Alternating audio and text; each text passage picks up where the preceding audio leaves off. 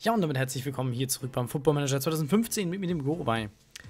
An dieser Stelle möchte ich mal sagen, wenn euch dieses Projekt gefällt und ihr immer noch möchtet, dass dieses Projekt weitergeht, also die zweite Hälfte der Saison, dann gebt dem Ganzen doch jetzt schon einen Daumen hoch, damit ich weiß, ob ich dieses Projekt fortführen soll oder nicht, weil ich bin ein wenig im Zweifel, da andere Projekte vielleicht besser laufen als der Football Manager und da möchte ich gerne herausfinden, ob ihr dann gerne möchtet, dass er noch weiterläuft.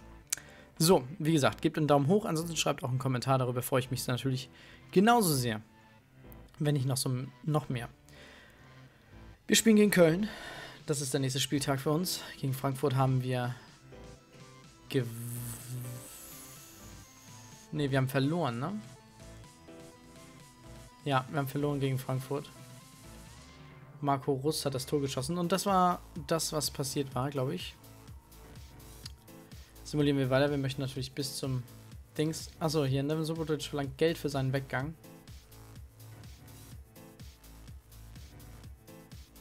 Nevin Jobotic hat Dortmund informiert.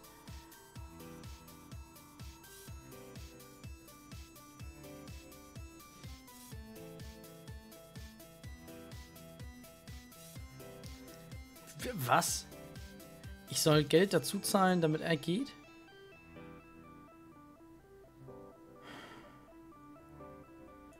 Boah, ist natürlich eine schwierige, eine schwierige Sache. Aber wir haben noch so viele Verteidiger, wenn Hummels auch noch da ist, ne? Und das ist halt Subotic. Pro Monat 166. Und wie viel sollen wir dazu zahlen? Äh, warte mal. Er verdient pro Monat 166.000. Wir sollen 17,25. Okay, das akzeptieren wir.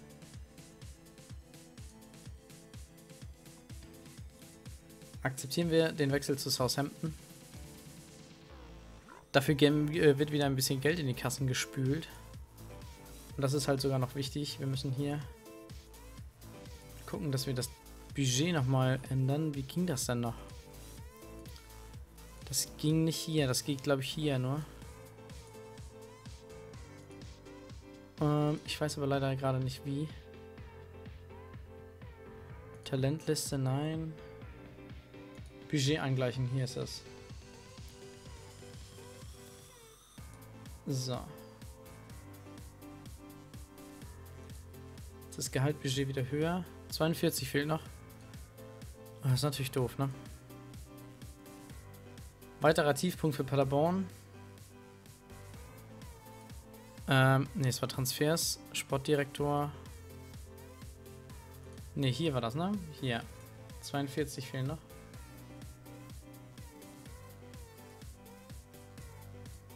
So, jetzt müsste das aber 5,5000 fehlen noch. Also 5500 Euro im Monat. Das sah. Wie, wie hoch das einfach ist.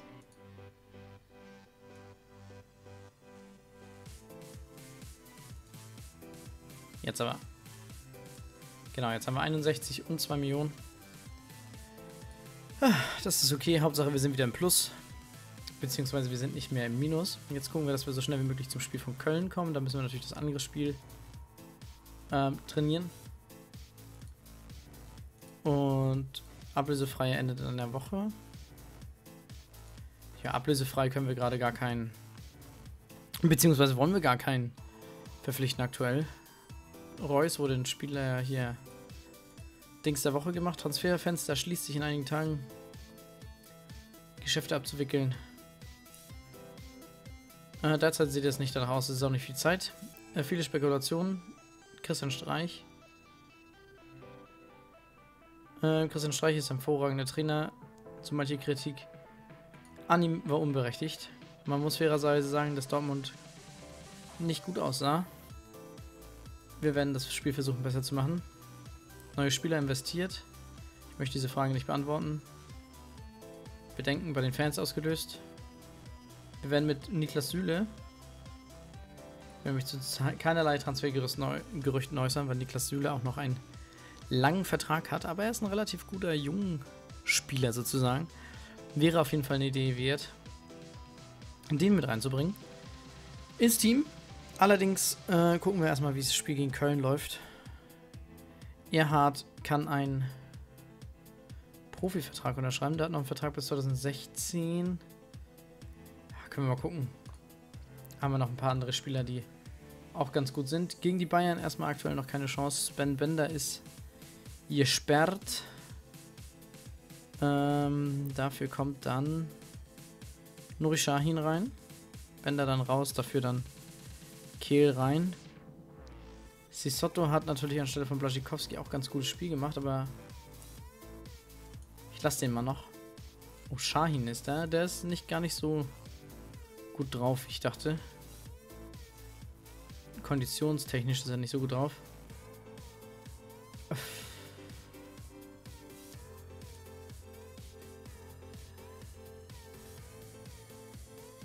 Wir können immer noch ein 4-4-2 spielen.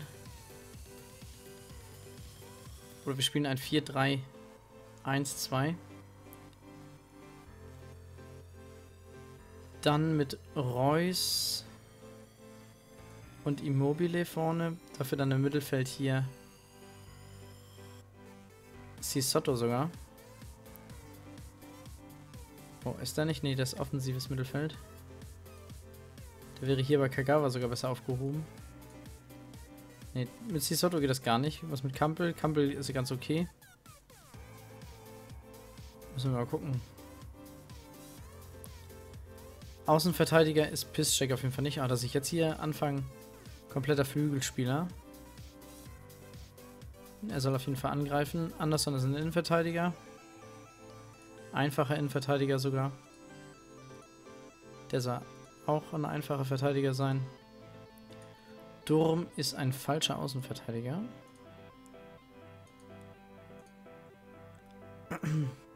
Kampel, wenn er zentral spielt. Vertikaler Spielmacher. Shahin, wenn er zentral spielt. Der soll ja nicht zentral spielen, warte mal. Wer sollte denn zentral spielen?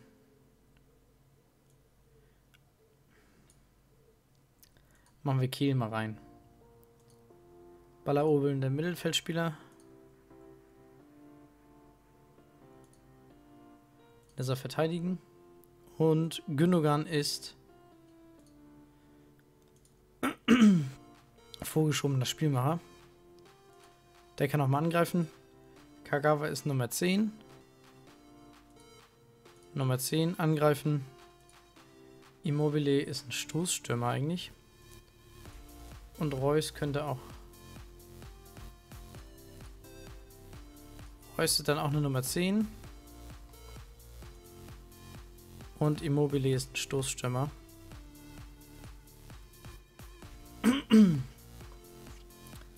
so. Und Rofier ist einfach nur ein Torwart. Ja, gucken wir mal, ob das was hilft hier. Shahin nehmen wir mal raus, dann kommt Sassone mal rein. Vier Ersatzspieler zu viel. Sassone hat gar keine Rückennummer. Die 32 hat er dann. Auf geht's, ab geht's.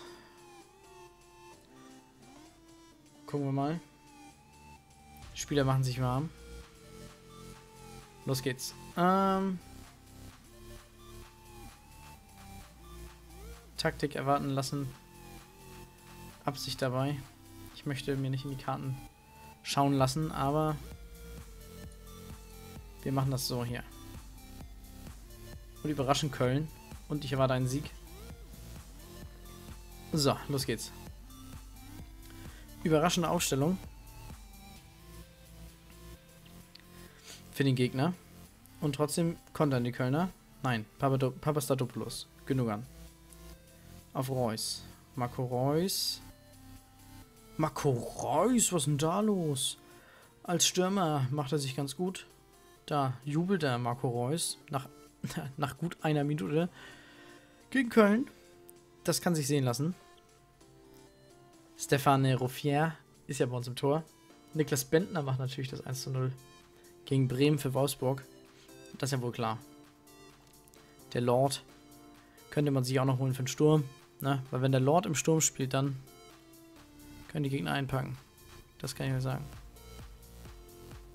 Auch nur wenn der Lord im Sturm spielt. Freistoß. Von Halfa. Finde.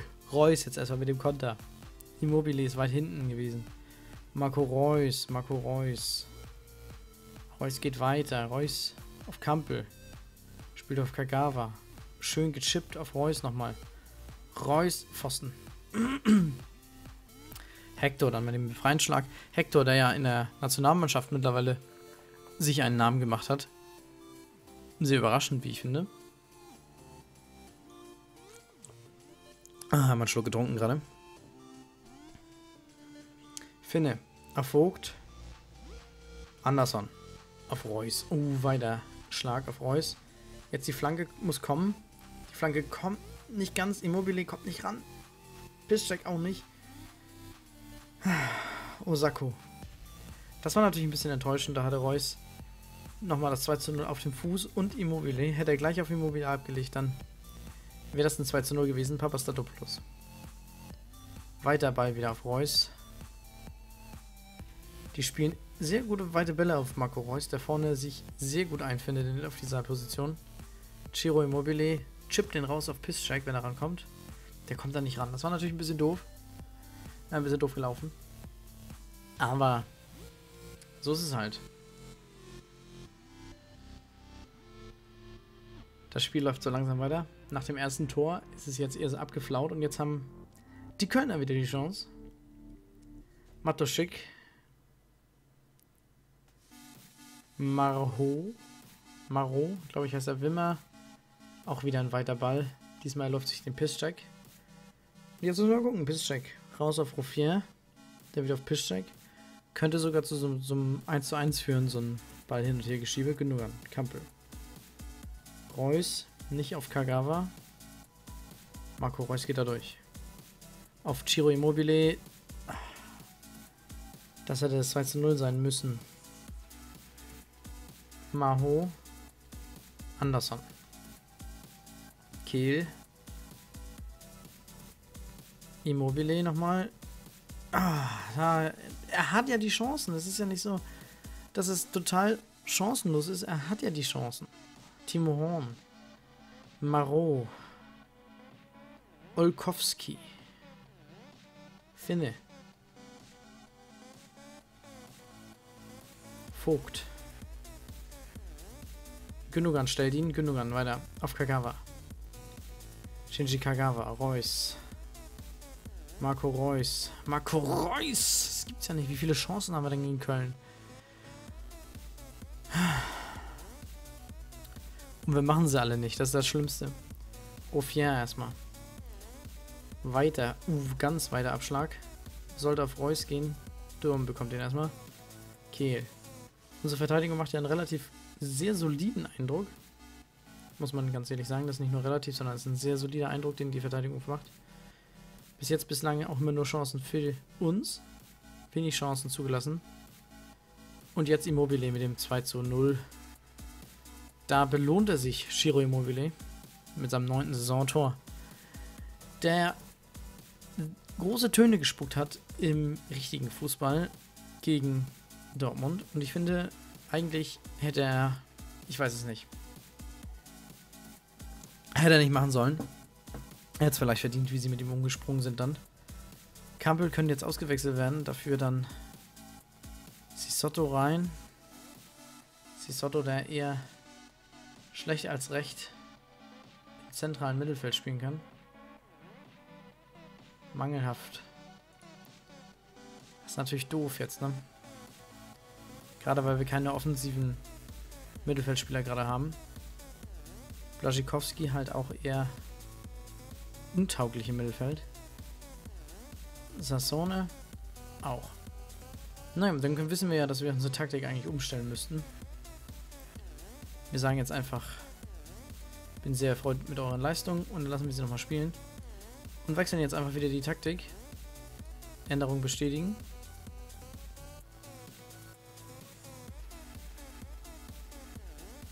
Und jetzt werden wir gleich die Aufstellung quasi wieder ändern wenn die Chance dazu da ist. Und äh, das haben wir jetzt getan. Jetzt müssen wir gucken, gucken weil Immobile vorne ist und nicht Reus, der natürlich auf links kommen muss und Gündogan dann für Kampel. So sind sie normalerweise. Stoßstürmer 10, Nein, sie Angreifer. Gut, das ist alles so ganz okay so. Jetzt kann dann Sisotto rein für Kampel und Sassone für Reus. Dass wir da mal ein bisschen wechseln und Ah, mit Ramos tue ich mir noch schwer. Wir warten nochmal. Vielleicht verletzt sich ja noch einer. Wir sind ja erst Anfang der zweiten Hälfte. Und wechseln gleich zweimal aus. Aber mit Sisotto und Sassone sind jetzt ja auch Spieler drin, die sich vielleicht gerne mal ein bisschen zeigen würden. Ilkay Gündogan mit der Ecke. Wimmer ist noch dran. Und jetzt kommt Halfa. Halfa.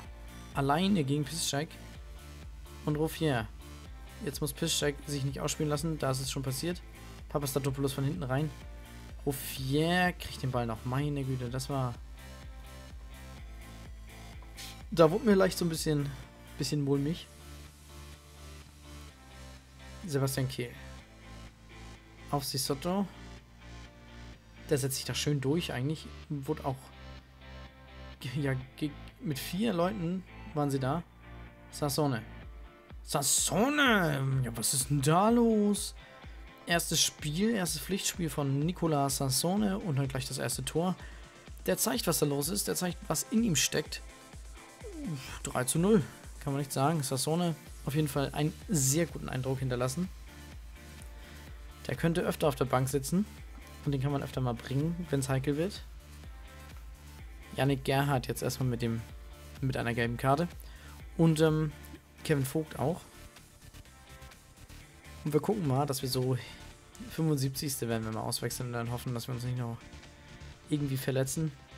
Dass wir Durm mal rauskriegen aus dem Gefecht sozusagen.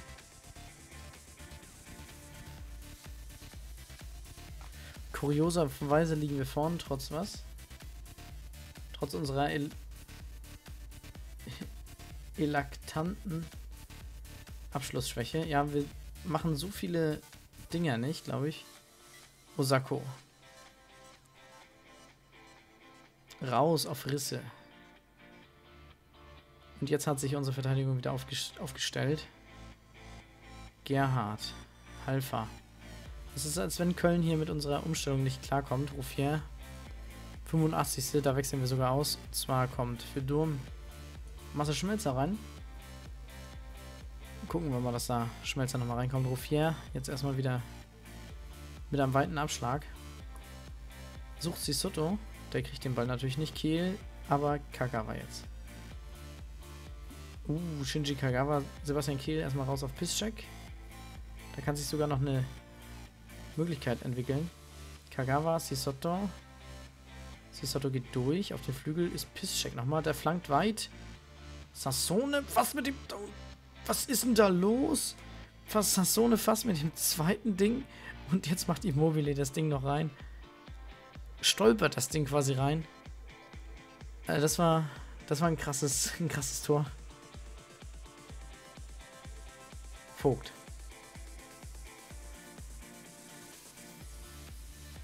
Risse. Brecco, Spielende. So. Dortmund gewinnt gegen den ersten FC Köln. Wir sagen ganz bestimmt, gut gemacht, Männer. Warum könnt ihr nicht immer so spielen, fragen wir. Ein sehr schönes Spiel. Pisscheck war natürlich Spieler des Spiels. Immobile war ein Schlüsselspieler. Wir befinden uns immer noch auf Platz 2. Sehr schönes Spiel. Wirklich sehr schönes Spiel. Wir gucken nochmal hier. Pisscheck versetzt die Fans in Ekstase.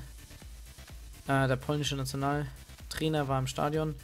Sassone, großartiger Moment. Ich erwarte, dass er regelmäßig trifft.